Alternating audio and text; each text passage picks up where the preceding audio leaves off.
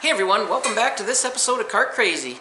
Working on our project build of our 2001 E-Z-GO TXT. Today we're going to be installing a MODZ tower top as well as a rear seat assembly. I'm Jeff, welcome to Kart Krazy.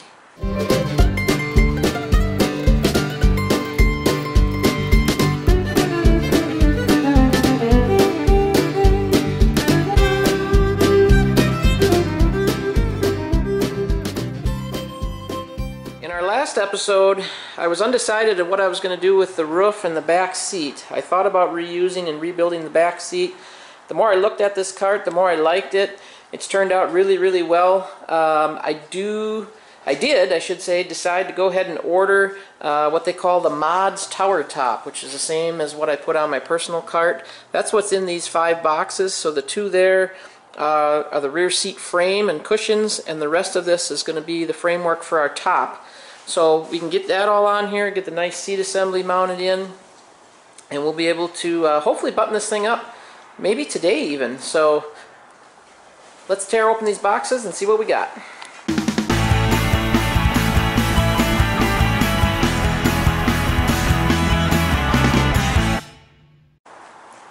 So just like the last tower top that I bought for my Precedent, um, no instructions. And you know, that's probably okay because I usually just throw the instructions away anyway.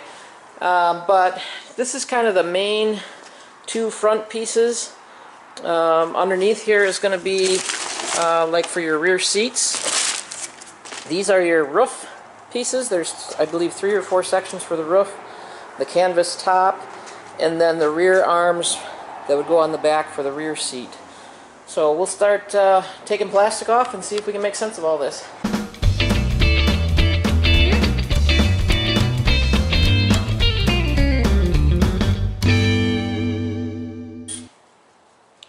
Didn't take long to run into a snag. Um, my thought process was I would get all this on and then I would work on my rocker panels, not realizing that that bottom piece actually kind of goes over the top of the rocker panel. So, uh, going to have to stop right dead in my tracks and get these rocker panels figured out. What I did, and I don't know if I've showed you before, I actually bought uh, diamond plate rocker panel covers. Let me grab my plastic. So these are the original E-Z-GO plastic, um, I guess rocker panels is what we call them. And they'll go on something like this. Jordy wants to help.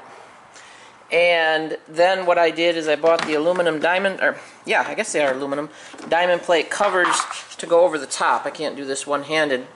But what I'm finding is these are in pretty rough shape, which is fine because they're going to get covered anyway, but I may have to take the heat gun and kind of reform those, trim some of this gouged plastic and stuff off. It just doesn't pay to go buy brand new ones when they're just going to get covered anyway, so I'll work on that.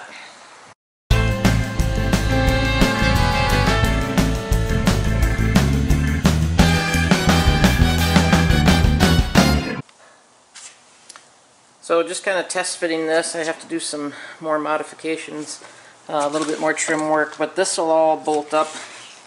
And this cover, that's what I was telling you about, goes over the factory plastic cover. That's going to look a lot better.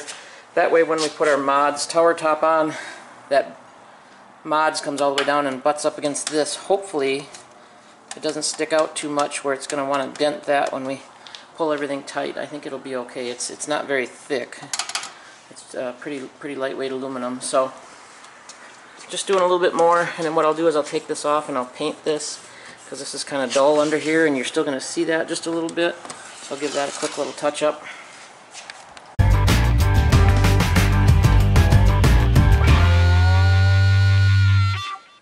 Okay, so it's uh, about, I don't know, 400 hours later, but um, did a couple things off camera. I had to run down to the, uh, the Home Depot and get some nuts and bolts and hardware that I didn't have.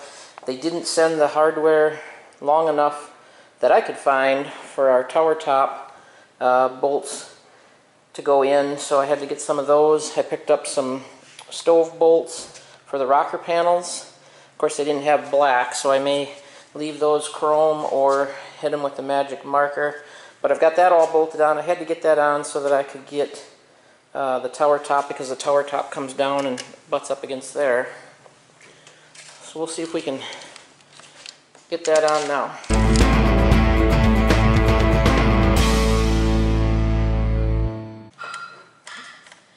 Well, that actually looks pretty good. Um, I've just got the bolts semi-tight there so that that gives it a little bit of give so we can put the rest of the top together. Um, I've got to come over here and do this rocker panel and kind of repeat the process.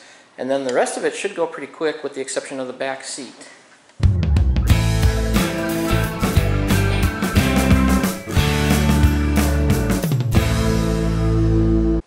Well, with a little experience, that side went a lot faster and uh, I will have to get under here and get a nut down there. It's kind of right up against the frame, but we can work around that. So yeah, we'll get our other upright on here and we can start putting the rest together. Alright, got that one on and I think my next step, because of the way this goes and I don't have any of the instructions, is going to be pull this rear seat kit out of the box. I believe that should have instructions. Basically, you use the seat um, bottom frame. You don't use any of the side assembly, but you use the frame, the cushions, and the rear step, and the rest of it is all the MODZ piping. So I'll pull that out of the box, try to make sense of that, and then hopefully we can kind of connect the dots here.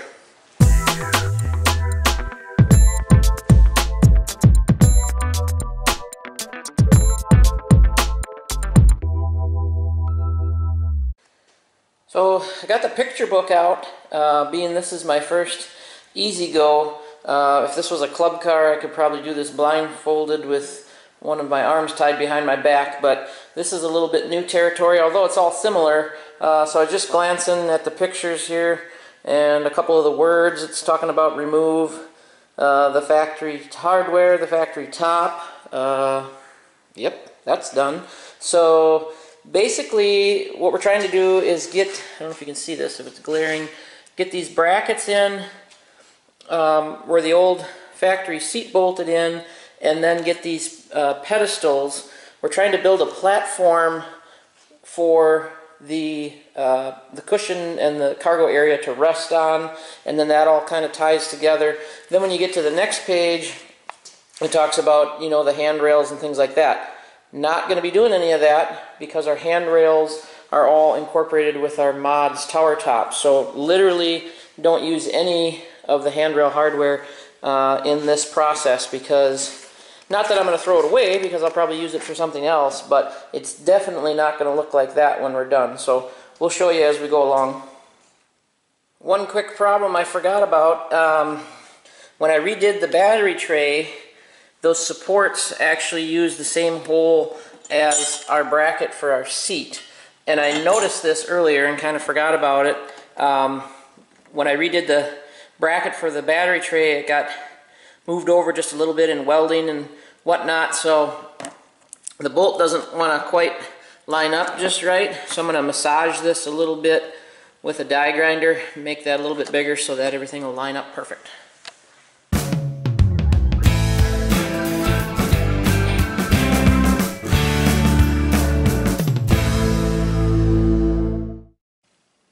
Well, that didn't take much. Just needed a little, just a little bit. That way these bolts and everything will drop in there just perfect. So here we go.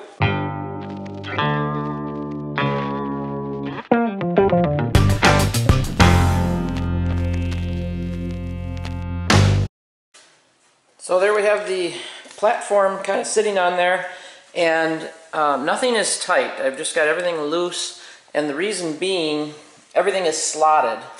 And there's a good reason for that because when I mount my part of my tower top up, I don't know if you can see this with me holding it one hand, but the angle is just all wrong. Well, because everything's slotted, I can line everything up just perfect. So leave everything loose, that way when you go to pull everything together, you can kind of line it up and then tighten everything down.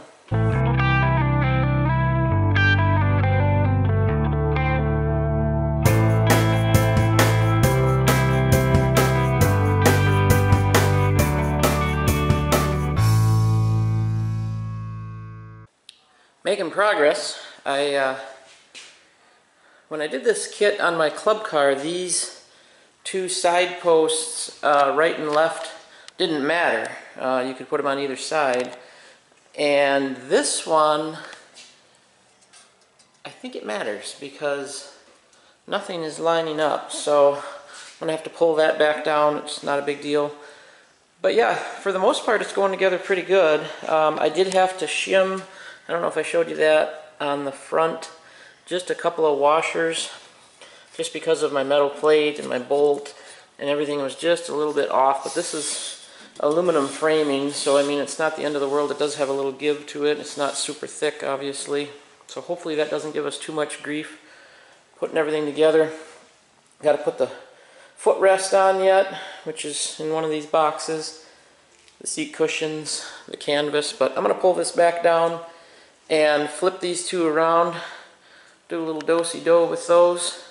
Hopefully everything will line up just perfect.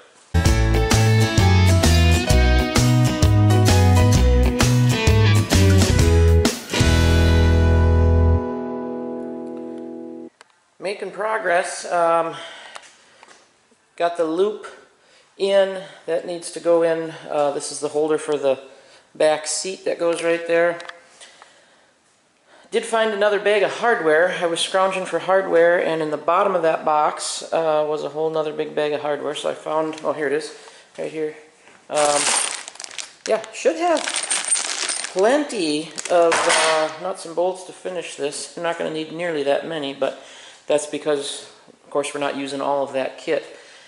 This is a combination of two kits. I've probably said that three times already, but um, so everything is still loose. Just working on button everything together. I did flip these around and everything lines up a lot better.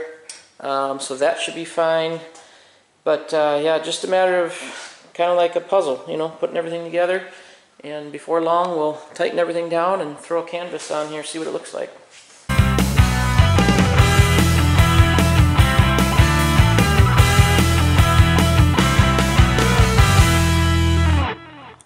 Thought I'd let the camera charge up a minute and I got quite a bit done. Um, does take two people to get that top on there because you have to stretch it and then line the zipper up.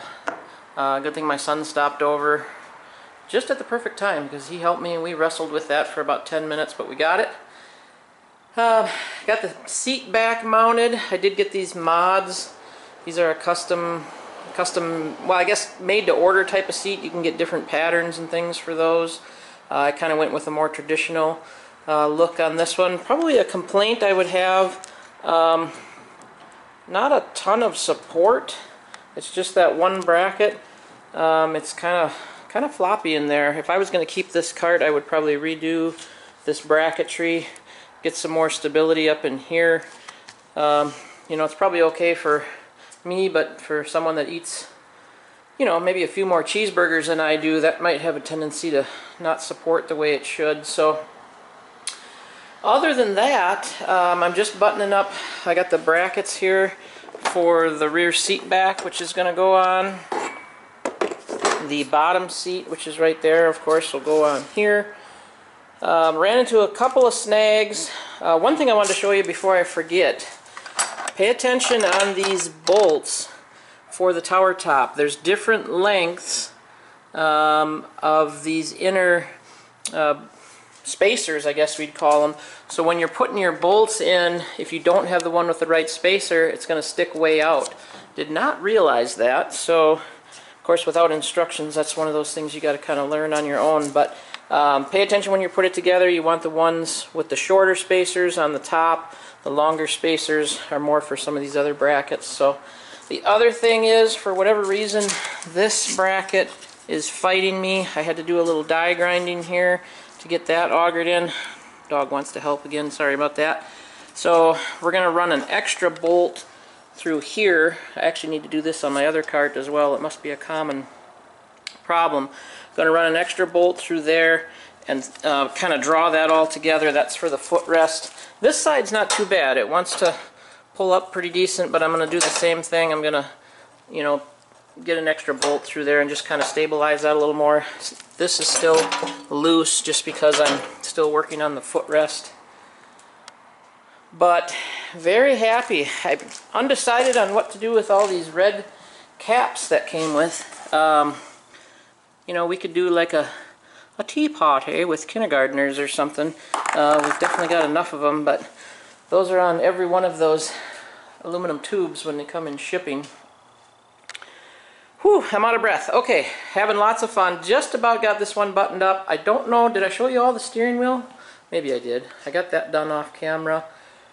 I uh, need to button up the dash yet. I was kind of waiting because they're supposed to be sending me the USB port that wasn't in the box and also um, a battery meter that was also not in the box. So it's supposed to be sending me that. I do have to get my rivets across the dash yet, my rivets for my seat holders. So lots of little piddly things, but man, oh man, have we got a lot done today. It uh, It's looking good. I know that it's hard to get a good look at it here in the garage, but um, really super happy with the way this one turned out.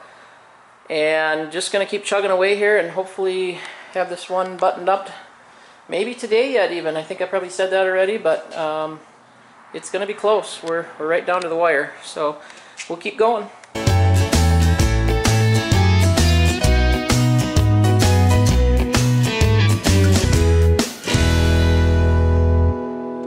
Well, just just look at it a second. It has come a long way from the uh, the old green bean we brought home on the trailer. Got the seat all mounted in off camera. I added that bolt like I was telling you for stability and to bring these brackets in where they're supposed to be. Got the flip seat all done. It's kind of neat. This is the first time I did uh, the MODZ where I actually used the cushions. They got the the logo right in there. That's kind of neat. Um, yeah, still a couple things to button up. Uh, I managed to break my brand new rivet gun, and I don't have a spare. So I've got to do some rivets there. Still got to do something with that key switch area. It's just kind of sitting in there. In fact, if I bump it hard enough it would probably fall out and the brackets for the seat um, I don't have those done yet but there's our lithiums our steering wheel headlights turn signals. Still undecided if I'm going to put that cover. I probably will.